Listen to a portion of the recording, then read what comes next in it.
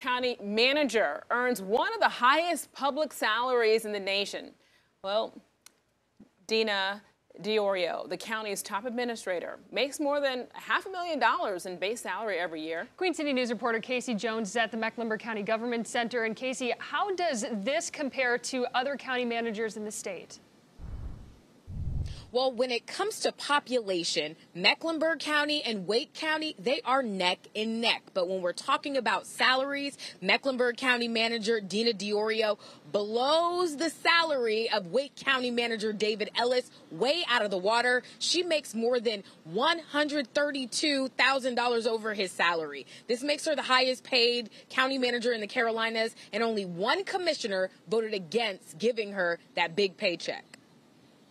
Mecklenburg County Manager Dena Diorio has one of the highest public salaries in the country. With more than 35 years' experience in public administration, Diorio was appointed county manager by the Board of Commissioners in 2014. One of her biggest duties every year, outlining the county's $2.3 billion budget.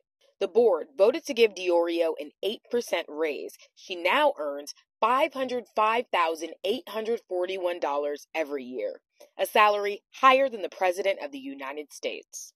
On top of that, the board approved a $25,000 performance based bonus for Diorio.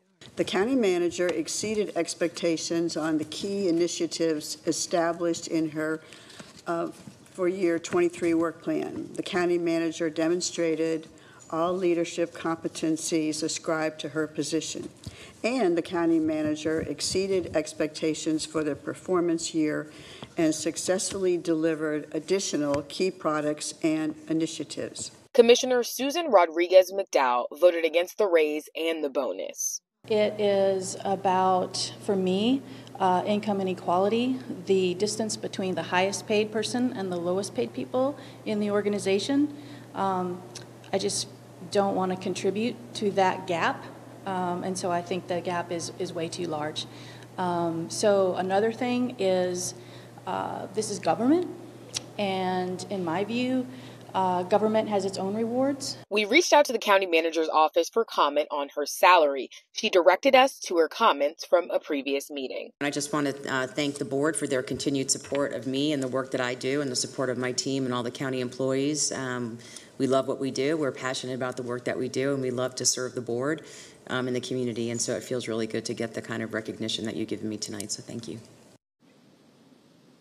Starting tomorrow, September 13th, County Manager Dena Diorio will be on leave. She's going out of the country for her honeymoon.